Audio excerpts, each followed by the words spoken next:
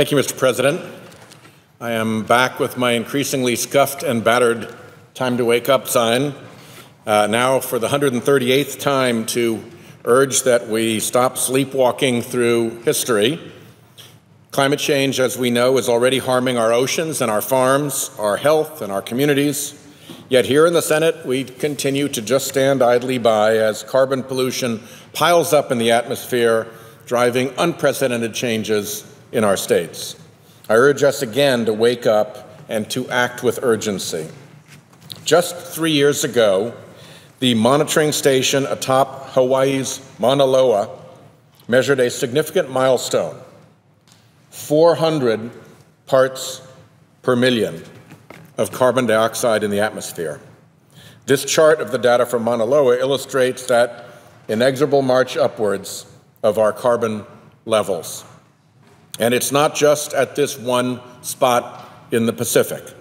The World Meteorological Organization maintains a global atmosphere watch network of atmospheric monitoring stations that spans 100 countries, including stations high in the Alps, Andes, and Himalayas, as well as in the Arctic and Antarctic.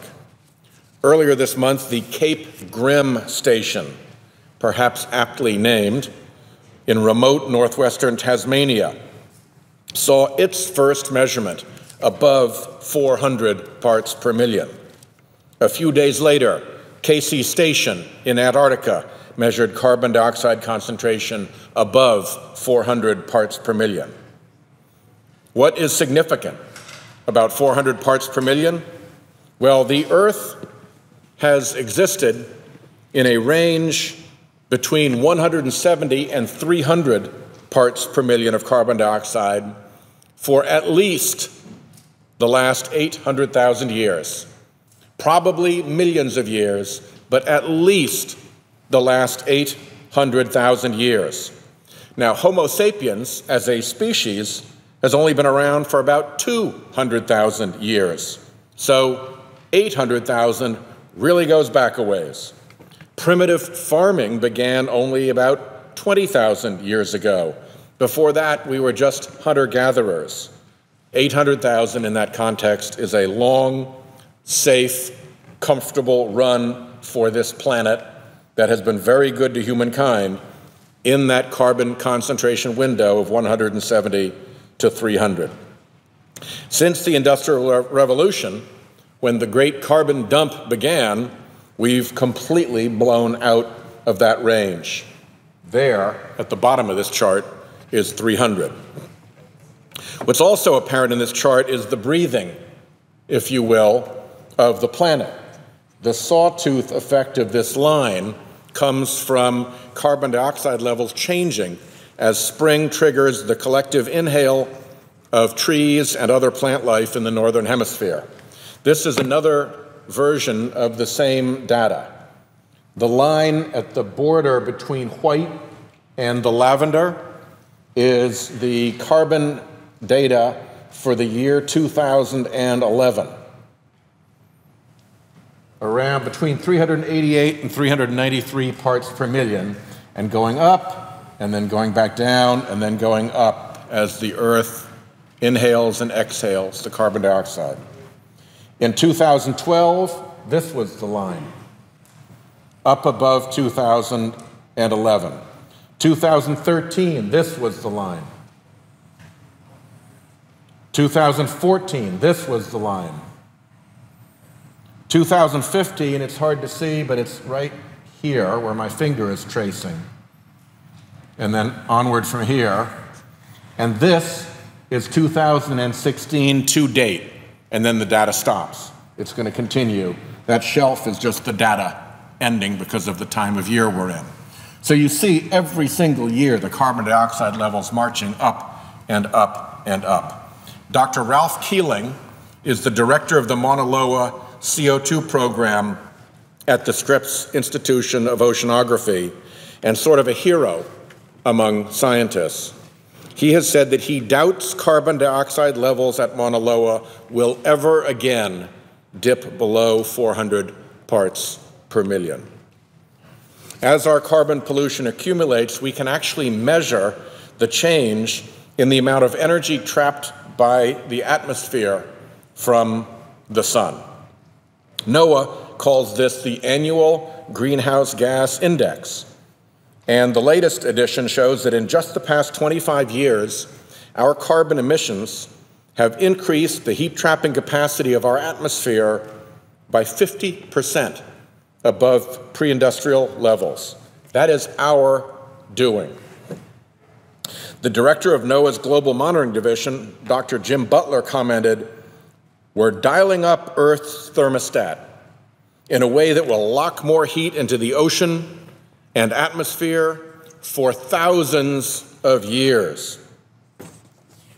Last week, the Washington Post reported that both NOAA and NASA found April 2016 to have been the warmest April ever recorded. What's remarkable is that April was the 12th consecutive month in a row in which that month was the warmest ever recorded for that month. That's a full year's worth of months that topped every previous such month for temperature. And it's the longest streak of that ever in NOAA's 137 year temperature record. One thing we know about all this excess heat is that the oceans have absorbed more than 90% of it. You think things are weird now with the weather. Imagine if the oceans had not absorbed more than 90% of that excess heat.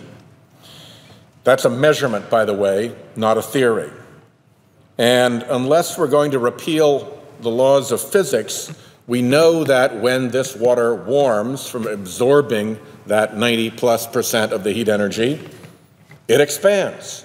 That's the law of thermal expansion.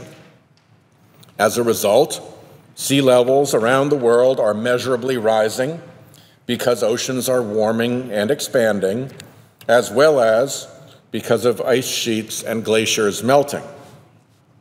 Sea level rise is a serious matter for my constituents and for all coastal communities. We measure approximately 10 inches of sea level rise at Naval Station Newport, Rhode Island, since the 1930s. Higher sea levels erode our shoreline they push salt water up into our marshes, and worst of all, from our human perspective, the big storms that get launched in this weather come riding ashore on higher seas, and they inflict more damage and worst flooding in our homes. A couple of years ago, I visited South Florida with our friend Senator Nelson. In parts of Miami and Fort Lauderdale, seawater continues to flood streets and homes at high tide on perfectly calm and sunny days. It's not rain. These flooding events are occurring because sea level is rising. A study published in February by Climate Change, by Climate Central, determined that climate change was to blame for approximately three quarters of the coastal floods recorded in the U.S. between 2005 and 2014, most of which were high tide floods. The blue is the natural flood day experience, the red are the floodings that were driven by climate change. Dr. Ben Strauss led this analysis, and he says, I quote him, this is really the first placing of human fingerprints on coastal floods, and thousands of them. And the body of science revealing those human fingerprints uh, from climate change is growing. In the past, I've said that climate change loads the dice for extreme weather, but that it's hard to link a particular event to climate change. That is actually beginning to change as the science continues to develop and the evidence continues to pile up. In March, the National Academies of Sciences, Engineering, and Medicine released a report outlining a rigorous, science based system for attributing extreme weather events to climate change with statistical confidence. In other words, the scientists are now able to assess how the risk of an extreme weather event has changed since these heat trapping greenhouse gases have altered our climate. Certain kinds of extreme events are relatively straightforward to assess and attribute heat waves, heavy rains, certain types of drought.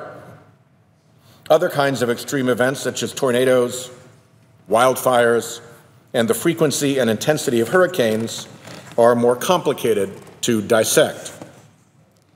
Heat waves, for example, are expected to become more common, more intense, and longer lasting because of the increase in heat trapping gases in the atmosphere. An analysis of an extreme heat wave last May in Australia found that it was made 23 times more likely to have happened because of climate change. When the odds in favor have become so great, it's fair to say, according to one scientist associated with that report, and I quote, some episodes of extreme heat would have been virtually impossible without climate change. The attribution to specific events is closing in. Dr. Heidi Cullen, chief scientist at Climate Central and a contributor to the National Academy's report, has said the days of saying no single weather event can be linked to climate change are over. For many extreme weather events, the link is now strong. End quote. Australian researchers have determined that the ocean warming that led to widespread and devastating coral bleaching on the Great Barrier Reef in March was made not 23 times more likely, but 175 times more likely by human caused climate change. Average water temperatures in the Coral Sea are up about 1.5 degrees Celsius since 1900. We measure that. And about one half of that one and a half degrees, one half a degree of that one and a half degrees, is due to natural variability, and one whole degree of it is from greenhouse gas emissions. David Kline, a coral reef scientist at the Scripps Institute of Oceanography, has said, We've had evidence before that human induced climate change is behind the increase in severity and frequency of bleaching events. But this is the smoking gun. End quote. By the way, a bleaching event on a coral reef is like a heart attack in a human. The reef may survive it, but it will take a long, long time to recover, and very often the reef simply dies. With all of that happening, here we are in this chamber, sitting on our hands, helpless. We have a responsibility, Mr. President, not only to the voters of today, but to the generations who will follow us and inherit the world as we leave it to them. Here's how Professor of Oceanography, Dr. Laura Faye Tenenbaum of NASA's Jet Propulsion Laboratory, describes her predicament. I quote As a college professor who lectures on climate change, I will have to find a way to look into those 70 sets of eyes, her students, that have learned all semester long to trust me. And somehow explain to those students, my students, who still believe in their young minds that success mostly depends on good grades and hard work, who believe in fairness, even handedness, and opportunity. How much we as people have altered our environment, and that they will end up facing the consequences of our inability to act. End quote. So, where do we look for leadership?